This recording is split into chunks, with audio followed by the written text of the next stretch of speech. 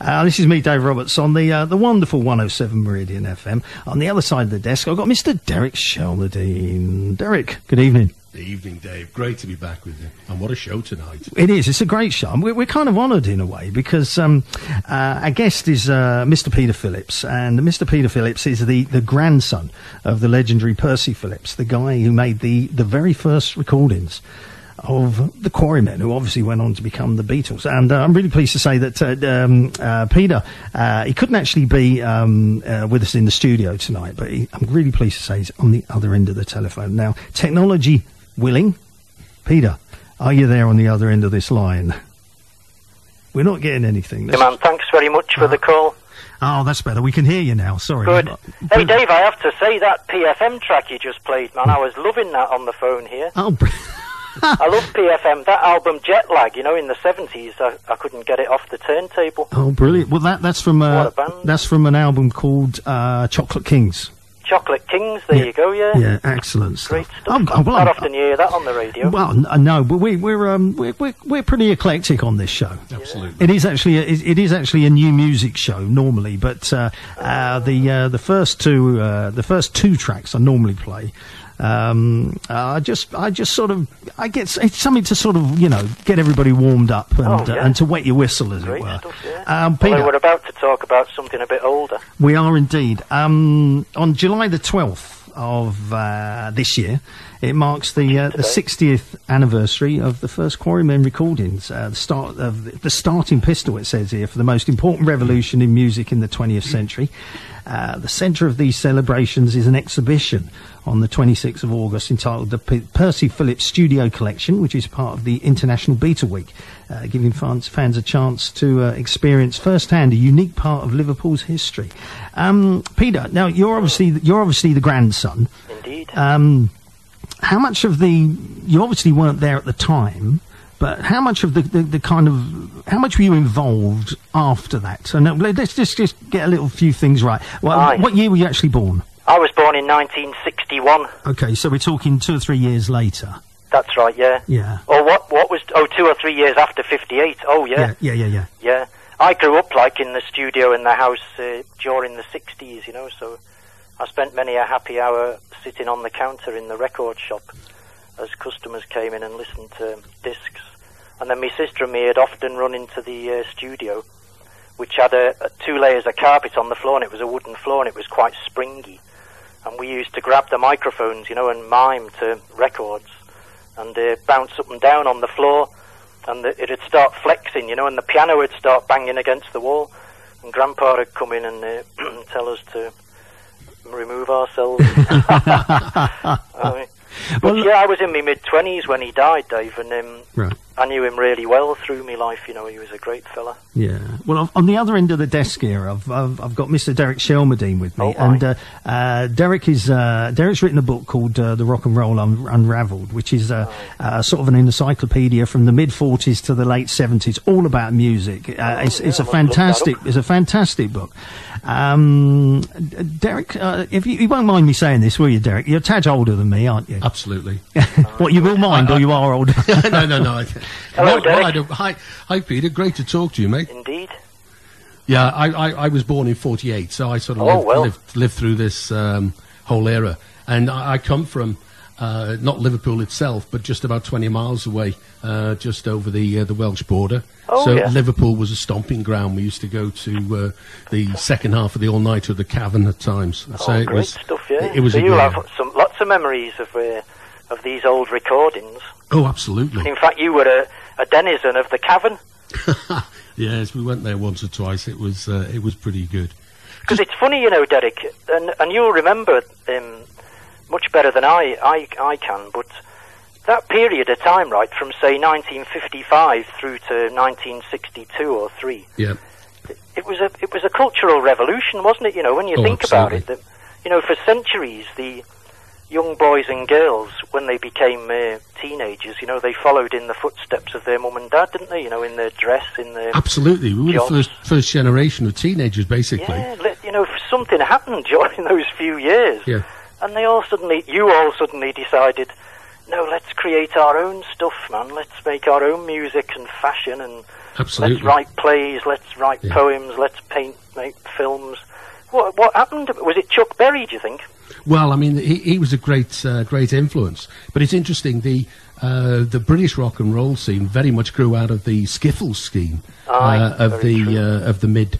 Uh, 50s because Yeah. I, I noticed um, reading uh, your website that a guy called uh, Tony Allen uh, with Yeah, the Blue Mountain right. Boys is one of the people that you recorded in Absolutely '56. right. Yeah. Tony's still around, actually. God bless him. He's a, he's a bit ill at the moment, but Oh uh, right, he's doing all right. Yeah. excellent. And he was he was uh, used to live up the road from Grandpa, and I've spoken to him, you know, and he's told Yeah. me his story about uh, making a disc in there in 1956. I think he made it. He Yeah. claims it was like the first rock and roll recording, you know. That's right, With his that's right. guitar and his pal. Yeah, the dates given on the website is either 27th of February or the 27th of uh, March, but it's That's uh, right. He kept certainly early records in his Navy logbook. Yeah. Yeah, because it was interesting because uh, your grandfather started out as, um, as selling and uh, recharging batteries, didn't he? That's right. Yeah. Yeah, Yeah, he, what happened was, uh, Derek, that in 1925 he opened the battery business, yeah, and um, after the First World War, um, he got badly injured in a gas attack in France. He ended up back in Liverpool, and he opened. He, got, he took over the uh, proprietorship of the Raleigh dealership, the Raleigh bicycle dealership Yeah. In Kensington, in the Kensington area, Brunswick Road. yeah, And um, over the uh, the next couple of years, he started getting motorbikes in as well. Yeah. And that was when he first came across batteries, and he thought batteries were incredible. He told me this whole thing about he had this fascination with electricity and batteries, and you know, then no one in Liverpool had electricity then. Yeah. So I'm sure no one in um, East Grinstead did either. and if you had sure anything electrical, which most people didn't, maybe people had a radio. Yeah. You had to have a battery to run it off, you know. And so um, he became fascinated by batteries, which is what led him to open the battery charging service. Yeah. And then for the next 30 years, that was his life. And Grandma Hilda, she ran a, a boarding house on the upstairs, two rooms upstairs, oh, right, where actors from the playhouse would stay. You know?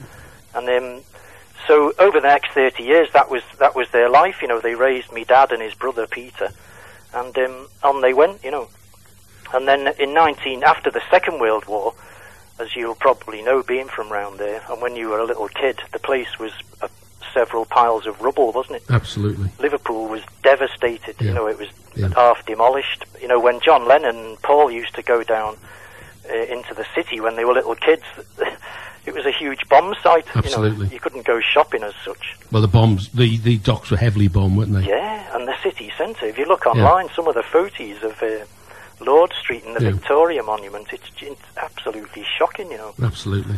So anyway, um, so when they started rebuilding Liverpool in the 50s, uh, they electrified the place, you know, so batteries were, were less useful and people had more electrical devices then as well. Even tellies came in, you know. So um, the battery business kind of faded out and he, because during the war, Derek, he'd, he used to go to Burtonwood Air Base a lot. All right. It's just on the outskirts of Yeah. Liverpool. And um, he used to char- uh, supply batteries for them during the war. So, and he used to go to dances there at the Skyline Club, you know, of a Yeah. night. And um, he used to love it. Uh, the dance bands. He saw Harry James there and uh, Glenn Miller, you know. And um, and so he started getting boxes of records that the that the American uh, airmen had bring back. Yeah. So he opened a record shop Brilliant. and it became uh, from 1954, the next couple of years, uh, like a centre of you know culture, if you like, Yeah. in uh, in Liverpool, wherever you want to go to get the. Peter, Peter, what was the name of the record store? Well, it was still called Phillips Battery Charging Depot, and a sign never went up giving the record shop a name. Oh, I It just uh, became But, pe- but people did actually realise that records were for sale in the store. yeah, yeah, it was just referred to as we'll go to Phillips to get some records. Yeah. And then in 1955, he was uh, 60 years old, and um, he suddenly had this brainwave. Me grandma remembers said, "Oh, Percy had a brainwave," and me dad at that time was working down uh, in Hayes for EMI. He was training up to become an electronics engineer, and um, so Grandpa went down to visit him. And then while he was there, he spent uh, four hundred pounds, 1955. That was like a year's wages Years' wages, gosh. on uh, this this studio equipment, an MSS um, reel-to-reel tape recorder, amplifier, and disc cutting lathe. Brought it back up to Liverpool with me dad, and they installed it. And uh, for the next 15 years, he cut discs. Why? I mean, what? I mean, I, I guess the Beatles. Well, the, I'm calling the Beatles the Quarrymen. They came to you. Is it purely because there was nowhere else to go? Well, there certainly wasn't in those days. There you know, it how he had that idea, I don't know. You know, he must have he's got it from somewhere, but um, he never never told me how he. You know, he just said it was a brainwave and that he should start cutting these discs. Maybe he saw an advert in the paper or something, and because he was selling records, you know, and the battery business had gone, so. But um, yeah, he used to go on location as well. He'd take the tape deck out and he'd record choirs and weddings. He used to do a lot of. And in the, the first few recordings, uh, Dave and Derek, they're, the ones that he made in 1955, 6, uh, 7, are, are things like family messages. Yeah. I've got 70 recordings which he had kept at the end of the studio's life in 1969. He kept this box of his favourite discs, you know. So there's 70 of these recordings ranging from the first disc he ever cut, which was a recording of himself singing unaccompanied, singing Right. Bonnie Mary of Argyle Yeah. which um, is very enjoyable. And then uh, on the side two of that disc, he, he sings along with a, a local dance band singer, Betty Roy. They sing Unchained Melody, you know, which was a hit of 1955. absolutely. And as you know, a lot of people have covered it since. But it's very beautiful uh, to listen to, you know, it's very atmospheric. Does um, did, you, did your granddad tell you any stories about the actual day that uh, John That the Paul Quarrymen came? that the Quarrymen came in? I mean, did it at the time? Did it actually? Did he actually feel anything different, or did he just think, no, three other lads, they paid their dollar, as it were. I'm I'm making a living. Come on in, do whatever you want, kind of thing. Or did he did he ever say to you, it it, it felt like something different was happening here? No, no, he didn't say that. No, the, the only different thing about uh, the Quarrymen to Grandpa was that they had a drum kit. Their drummer, Colin Hanton, who'd been in the group since it started, he had a drum kit, which was quite unusual in those days. Yeah. Because Derek, you were mentioning skiffle, That's right. and of course, when the Quarrymen started, um, they were a skiffle group, That's having right. been inspired, as you said, by Lonnie Donegan Yeah. and the Rock Island Line. But um, by the time 1958 came along, they formed the group in 1956 at uh, Quarry Bank Grammar School, where John went. That's right. And um, he had various of his pals in the group for that year, and they were playing skiffle with tea-chest bass and a washboard and what have you. Yeah. But uh, in 1957, uh, later in the year, Paul McCartney joined, and then in the beginning of 1958, George Harrison joined. So they then had the John Paul and George Colin on drums and John Lowe on the piano, Yes. and so they started. You know, they'd heard Elvis by then, and they'd heard Chuck Berry, Yeah. and you know they, they were becoming a bit more rock and roll. So Yeah. that first recording they made, that'll be the day. Obviously, they'd loved uh, Buddy Holly, and it's got a kind of edge. And when you listen to it and you hear John singing, it just, I think it sounds fantastic. You know, Yeah. and 60 years ago today, Yeah. Absolutely. you know, just the Beatles, man. What a story. You Yeah. know, I'll tell you what we do. What, what, what we do, Peter, as you just uh, mentioned it, uh, shall, we, Aye. shall we hear it? oh, go on, yeah. Here we go. We'll all enjoy Uh, that. this is I'm the, sure. the Quarrymen, and was this the, was this the first track that they cut? Because they cut two Yeah, in they the day. cut it direct to disc as they played. Yeah. Grandpa So this is this, lowered the cutter onto the blank acetate and cut it as they played it live. so this is John just Paul and George this on is acoustic this is just guitar. live then. Yeah, Here we go. Well, we got there in the end. Uh, the Quarrymen there with their uh, their direct to acetate version of uh, Buddy Holly's uh, "That Will Be the Day." Uh, any idea what happened to that acetate, uh, Peter? yes, uh, there is a story connected to it. In fact, all the discs um, in my collection uh, have got a story. It's it's amazing, really. But this particular one, um, you know, 60 years ago today, how does it sound? Sounds great, doesn't it? Absolutely. Yeah. and um, yes, um, uh, what did you ask me? Sorry. Oh, what happened? Do you know what happened? Oh, the actual- acetate, yeah. the actual what happened was they took it away and they had it for a week each, and then um, John Lowe, the piano player, got it last. He kept it for 23 years um, in a drawer in his house, and um, in 1981 he was going to sell it at an auction house, and uh, Paul McCartney bought it off him. So um, it's now in Paul any- any i- McCartney's record collection. Has Paul still got it? Yeah, and it's said to be the most valuable record in the world. Oh, I bet it is. What, any idea what Paul paid for it? Well, I wouldn't know that, no. Ah, It'd be a private have to ask, transaction, uh, I'd have expect. to ask John Lowe. One of the things. John will be at our exhibition. Actually, he's coming Oh, up to, brilliant. uh, to support us as well. Yeah. Did um, Percy ever think of going down the same route as Sam Phillips in America with his uh, Sun Records label and actually sign the artists up? Did he have? Did he not fancy getting into the sort of management side at Aye, all? it's funny you should say that because um, it is an amazing coincidence that they were Yeah. both called Phillips, isn't it? And um, here we've got Sam Phillips. I think he opened Sun Studios or Memphis Recording Service. That's right. Exactly the same. But he was, of course, he was recording Roscoe Gordon and uh, you know Billy Blue Bland and all those guys. That's right. And he recorded the first ever rock and roll record, of course. that Ike Turner, uh, Jackie Yeah. Brinston, and the all cats, wasn't it? That's right. Um, Rocket Rocket 88. 88, Yeah. There you go. And um, of course, he was a young fella, and Yeah. and, and after all, and um, Howlin' Wolf did his first uh, record there. I think BB King as well. Yeah. And then along came Carl Perkins and um, Elvis, of course, and Johnny Cash, and uh, That's right. and uh, he became successful financially as well. But as you say, he signed them all up, you see, because he was a young fella and he Yeah. loved it, didn't he? Exactly. He loved uh, the whole the whole thing of uh, making music and recording it and marketing it and making these guys successful. You know, helping Yeah. to make them. Because he could But have. Grandpa didn't have those feelings Yeah. for rock and roll. He was. Uh, you know, he was 60 years old. In fact, when the Quarrymen came in, he was 63. Yeah. The- you know, John was 17, nearly 18. Right. The others were younger. How must Grandpa have appeared to them? In Yeah. fact, when I met Paul one time, he was telling me that they used to call him Grandpa Right. because uh, he seemed so much older than them. Well, he was. Well, he was, yeah. That's perfect. It, it could have been interesting. He could have had an, uh, a relationship with someone like uh, Sam Leach, uh, who was one of the biggest promoters at the of the time, because it was really before uh, Brian Epstein got into the uh, Indeed, yeah. into the game, and it, there would have been a really interesting relationship there. Yeah, imagine it. Yeah, I have I have wondered about that uh, over the years. Yeah. Yeah. Although Brian was a regular visitor because, as you know, he had a record shop in Liverpool, That's right. and he used to come up to he used to sell sheet music as well, and Yeah. you know EMI's catalogue and what have you.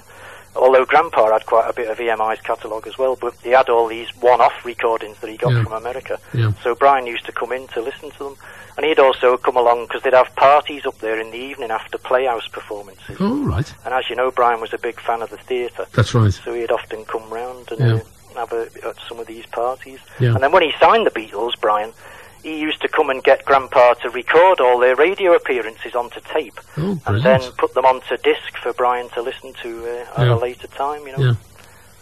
We've got um, uh, Peter. There's also other stories. Obviously, there's other artists uh, who came along and uh, people like Ken Dodd, that sort of thing. But there was, uh, there's the kind of uh, the the I would say it's dubious one of Billy Bi- Billy Fury coming along, but nobody actually knows whether it was him or not. As what does what did your your grandpa ever say about that? I've, ne- I've never heard that story before, Dave. Well, um, perhaps Go on. perhaps Derek could uh, sort of enlighten us a little bit more on sort of dates and times and things. Go on.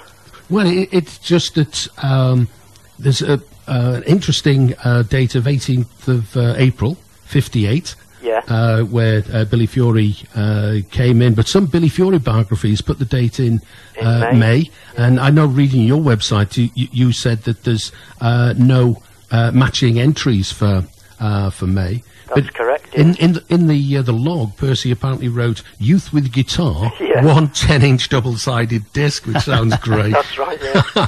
I love some of the entries in that log. Oh, They're so amusing, you know. But is, is there any, you know, did he ever say it was yes, it was? Well, no, he wouldn't have remembered uh, Billy Fury from No. a hundred other guys who would have come in, you know, Well, even though it right. is really good, that. So, so, so it's still a little bit up in the air as to whether it was or whether it wasn't. Well, I suppose you could say that, but, you know, Jean, his mum, who I spoke to a few times, and his Yeah. brother Albie, unfortunately both uh, passed away now, they uh, they both thought it was in April. Yeah. And, um, But so, so Yeah. Billy Fury did definitely make recordings there. It's just oh, a question no of doubt when. about that, yeah. You Yeah. Hmm? can, we've got the disc, haven't we, that Yeah. um, the disc is in existence. Well, it it's was got- on display, actually, not long ago at. Liverpool Museum. I mean, and it's uh, a double-sided uh, 10-inch 78. Yeah? Yeah. When Billy's written, the, or Ron Wycherley as he was at the That's time, right. he's written by hand on the on the label the five tracks that he recorded, Yeah. and that disc then went on, of course, to get him a, a contract with Larry Parnes.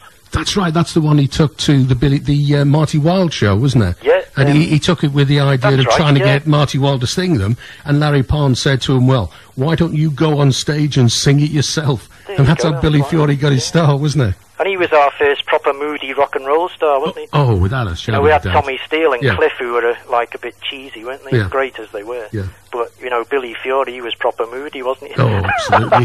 he had the rock and roll image. yeah. But the thing about that music we were just listening to, actually, it struck me at the time, uh, that'll be the day, how the intent of the guys, you know, they really mean it, don't they? Oh, absolutely. You know, uh, what was going on there creatively in Liverpool, you Yeah. know, in the in 1958. And in 1957, Johnny Guitar had gone in there, who later became uh, the Rory Storm and the Hurricanes guitarist, you know, Yeah. with Ringo. Yeah. And he recorded their Little Richard song, She's Got It. It's like That's one right. and a half minutes of this blast of rock and roll on acoustic guitar. Yeah. Because a lot of that early rock and roll, including Elvis, was done on acoustic guitar, wasn't it? And Well, piano, you know. Absolutely. Nobody was playing electric guitars Yeah. till the end of the 50s. And there were no bass guitars either. Aye, there You'll you find go. most. But it still sounds like really fat and Absolutely. exciting, doesn't it? You yeah, know? absolutely.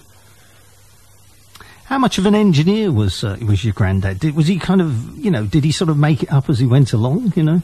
Well, I think in those days, you know, I, ref- I refer to him as a pioneer, Dave, because, um, you know, he was born in 1895. Ooh. Yeah, so when he was born, there were no, well, there were telephones actually, because they've been invented just uh, a few years before, but, yeah. you know, things like radios, record players, electricity, aeroplanes, Very televisions, none of this had even been invented, you know, and during the first 50 years of the 20th century, you know, when Grandpa was growing up, all these things were appearing like it, almost every year, you know, the, the first transatlantic radio broadcast, the Morse code, you know, and then the first uh, wireless radio, and then the car appeared on the streets, you know, and it, it just, it was insane, you know, in science as well, all these discoveries Technology was moving along at a heck of a rate, it? Yeah, and it, he, all these pioneers like Marconi and these guys, yeah. you know, to him, they were the current celebrities, if you like, and they inspired him, I think, to get this interest.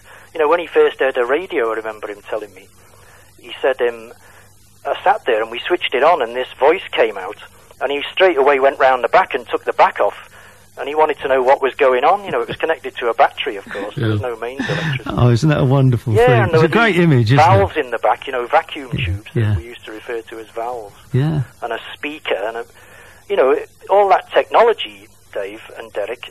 If you know, John Lennon would never have heard Chuck Berry in 1954 or five or whenever That's if right. someone hadn't invented the record player and the radio and the microphone and the the cabling. You know, all that stuff got invented. It facilitated that technological revolution, if you like, facilitated the cultural revolution that then happened. You know, during the 60s, didn't it? You know, Yeah. which And- the Beatles sort of epitomised to me. You know. Yeah, and I think the fact that uh, your grandfather actually had the record shop with the American imports, because in those days it was, un- unless somebody had a connection like that, your regular uh, record shops did not stock uh, American uh, imports. And of course, that's where uh, uh, British rock and roll was, was all American covers in the Yeah. certainly in the uh, in the fifties. That's right, isn't it? And uh, I always think of that Ain't That a Shame by Pat Boone, you know. yeah I can hardly listen to it. yes When you hear the original, you know, and the piano on the original, wow. Little Richard. What a tune. yeah What um Fats Domino, wasn't it? yeah when the Quarrymen went into the studio, what what were they paying? Well, uh, the price to record, go in the studio, set your gear up. They set up uh, three of them standing round uh, one microphone on a stand. John at the piano against the wall, Colin at the back next to the fireplace. And because it was just a living room, you know, with a sash window and a door and a, a fireplace, about 14 foot square. And um, the Quarrymen started playing, and um, you know they they got asked to pay 17 and six, which was the price to record onto tape. And then if you'd done a nice job that you were happy with, Grandpa had then cut it to the disc. But it turns out that day the boys didn't have 17 and 6 on them.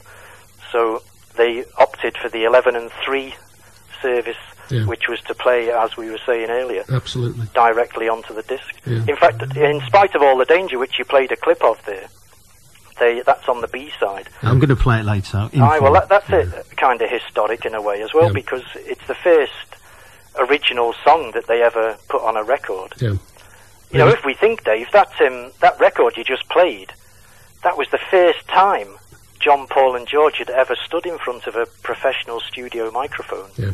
It was the first time they ever made a record. Yeah. You know, think what they went on to do with the Beatles and in their solo Mm. careers. Yeah. That was the first time they ever did it. You know. Exactly. And it was Paul and George that wrote In Spite of All the Danger, wasn't Yeah, it? well, Which is interesting. thing. That, that's the only song in the whole of the Beatles canon Yeah. that is credited to McCartney Harrison. Yeah. You know, I think Paul wrote the song and um, George played that uh, great guitar solo on That's right, so he So he gave him a credit, yeah. The um, sorry, Dave, the, the- I was going to say the, the, So they paid 11 and 3 anyway. Yeah. the building itself. Um, is it still there? Yes, it's in this terrace of houses on Kensington. It's just up the up the hill out of the city next to Liverpool uh, Royal Hospital. And the building's still there, yeah. It's got a blue plaque on the wall. It's now owned by a landlord who rents out the rooms. Oh, right. And the, the blue plaque got put on the wall in Yeah. uh, 2005, commemorating the fact that the Quarrymen made their first record. So, so, so it's just a normal. It's just turned into a normal house now. yeah. And you get the odd tourist going past uh, taking photos. Yeah. Why do the blue plaque people seem to think that the date was in a couple of days' time? Oh, have you spotted that, have you? I, I just, spotted any other mistakes? well, the 11 and 3, they seem to think if they paid the full 17 and 6. Ah, yeah. Well, that's the story, isn't it? Yeah. I think uh, what that is, it's Paul's story that because he, he told me they paid seventeen and six. The others aren't that sure. Yeah. In fact, Qu- uh, Colin Hanton, the drummer, who was in the original Quarrymen the first time John formed the group in '56, and um, he's published a book recently called Prefab, which is his memoir, you know, Ah. of those days. Yeah. And he tells, he gives a really good uh, telling of the story of going to the studio that Right. day. But he doesn't mention 17 and 6. In fact, he doesn't mention the, the price, I don't think. Yeah.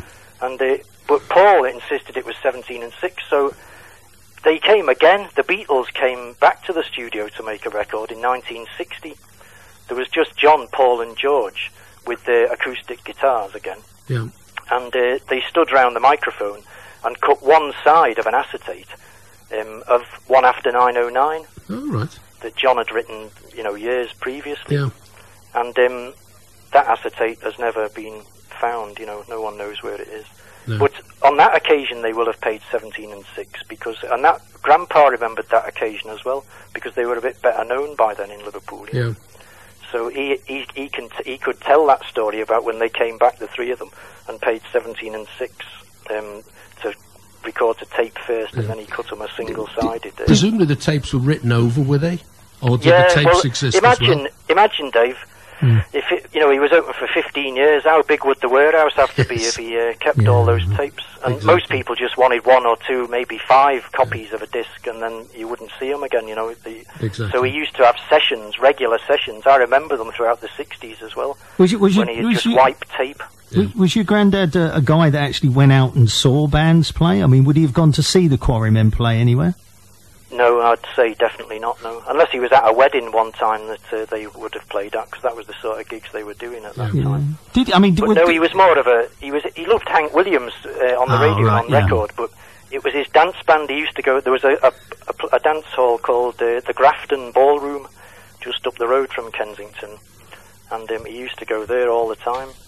Did um, I mean, did, did, did he, you know, did he develop a friendship with the with um, with them all? No, no, not really. No, George became a friend of Carol. Uh, is my auntie Carol Percy's daughter, and um, he used to write her quite a lot of letters. We've got some actually, which will be on display at our exhibition in August. He, he wrote uh, one of the ones we've got. He wrote for to Carol from the Star Club in Hamburg in uh, 1962, and he's saying, uh, "Oh dear Carol, um, lovely to see you at the Cavern the other night," and um, and then he says, We're coming back to England next week to do a TV in Scotland. so, you know, they were just on the rise. So uh, those will be on display. So, yeah, George was a, became a, like a family friend, you know. But uh, the other guys went off and uh, sought their fortune, didn't they? They certainly did. Aye. Uh, um, tell tell us a little. You've got this um, exhibition coming up. Yes. Uh, when when is it? So It's taken 30 years, Dave, for me to, to meet meet a person who who had the same uh, idea that I did at how it should be released. 20, 26th of August. It's Yeah, the 26th of August, which part is a international Sunday. per, per, part of International Beatle Week. That's right. I'd imagine, obviously, up, it's going to be up in Liverpool then. Indeed, yeah. It'll be in the Adelphi Hotel on the Sunday, the 26th. Beatle Week's from the 22nd to the 28th, you know, all over the city. Right. And then on the Beatles convention day, they take over the whole Adelphi Hotel there in the middle of the city. And, um, you know, there's a big sale area with vinyl and, you know, memorabilia. And then there's lots of bands playing in different rooms from all around the world playing Beatles stuff. People are just milling about, chatting, you know, having a nice time. And then there's a, con- a room where they, they get guest speakers, you know, I think Tony Bramwell's going to be there this year, Pattie Boyd, Mark Lewisohn. And then um, we're in the Empire Room. We've got the whole Empire Room where we're going to launch our um, four CD set, uh, boxed set of um, the Percy Phillips Studio Collection, containing 70 recordings from, you know, from those uh, early family messages and a Rose Queen ceremony, and then the early rock and roll, and then through into the 60s where people were coming in doing Paul Simon songs and um, Marmalade songs, and uh, and most of these, I guess, had never been released before. never been released before, no. Interesting. And um, and also Ken Dodd, of course, who we, I think you mentioned him earlier. Yeah. But uh, he became a good family friend because they, they lived in Knotty Ashes, you know, and his right, dad yeah. ran a coal yard. Right. So he was a fellow businessman with uh, my grandpa. Yeah. So they knew each other. So Ken started coming to the to the studio a lot, and uh, my grandpa just loved his singing voice. So he made a few discs. His Yeah. first ever disc he recorded there, and that has never been heard publicly. And it'll be on the CD, yeah, both sides of that disc. Yeah. Doddy singing and um, Grandma on the piano. Right. And the and. God bless him, eh, because uh, it's sad that he won't be able to be there. 'cause He, Absolutely. uh, died earlier this year. And the Everton Football Club songs. Yeah, that's a strange one, isn't it? Because it was just there in the in the archive that Grandpa had kept, and that's a, a seven-inch forty-five, Yeah. and that that was recorded in 1963 by the Everton team, who had won the title, the league title that year, and they came into the studio, the whole team, with a professional singer, an accordionist, a guy on the piano, and a drummer, and they they recorded this specially written pop song called uh, E V E R T O N. It's really good, and it lists where all the fans come from in Liverpool. You know, Huyton or Walton or whatever. Yeah. And um, yeah, there it is. Really good quality as well. The, the recording sounds excellent, and there's a, a song on the B side as well. So that that's on the recording as well. Brilliant. On the CD. Because the Quarrymen are still gigging, aren't they? So I yeah, see they them are. Colin's still on drums. Yeah. Yeah. John Lowe on piano, Rod Davis on banjo, Len Garry, who was in the original uh, Quarrymen, Yeah. singing. Sounds like Elvis. He's brilliant, Len Garry. Are they playing it all at the Beatles convention or at your Well, opening? John Lowe's coming along to the convention. I think they're otherwise occupied, uh, the other guys, but Yeah. there's only John and Colin, the drummer, who appeared on the, the Percy Phillips recording anyway. That's right.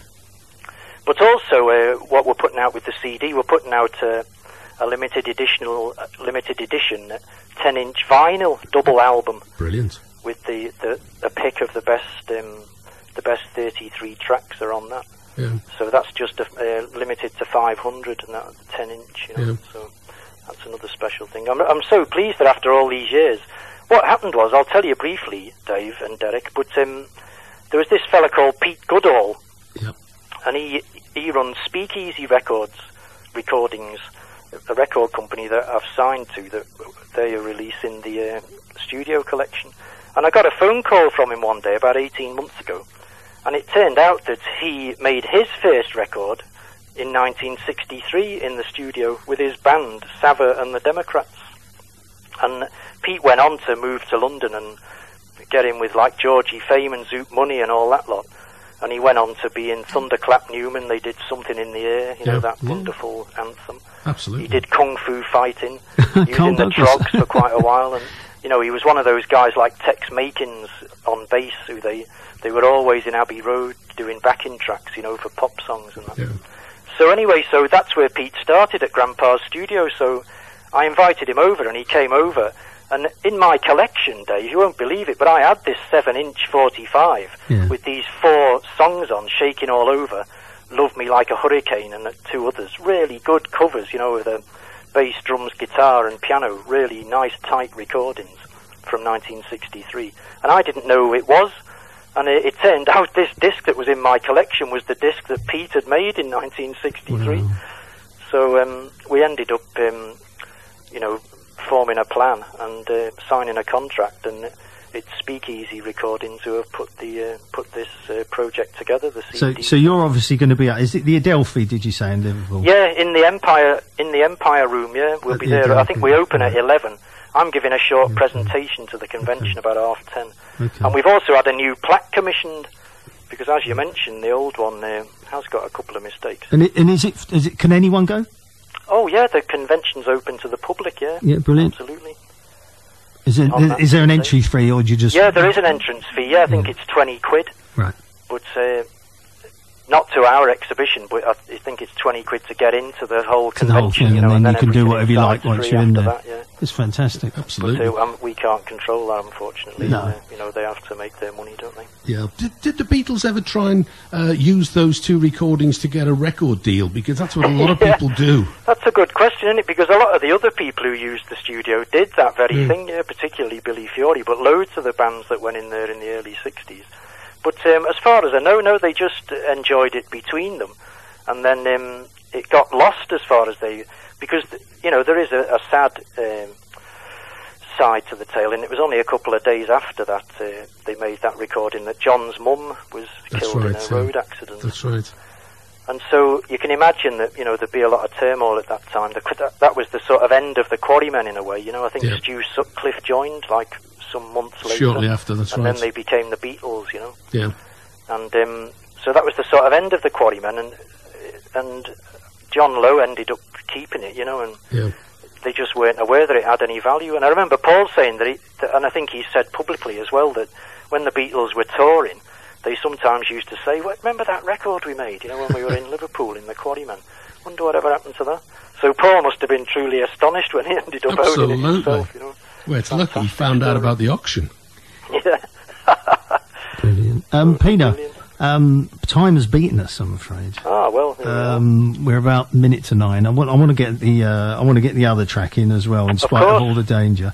Um, it's been an absolute joy talking to you. You're obviously, you're an, you're, you know, you're a wonderful orator, uh, and your, your knowledge of, of, of your subject is first class. So, uh, Oh, thanks very much, Dave. and thanks so much. Derek, as well. It's been great chatting. Yeah, it does feel like we could continue, doesn't it? Absolutely. It- well, you, you know, I mean, I've got is, uh, I've got your number. You never know. Aye. I mean, I, I can um, perhaps. W- I t- I tell you what I'll do.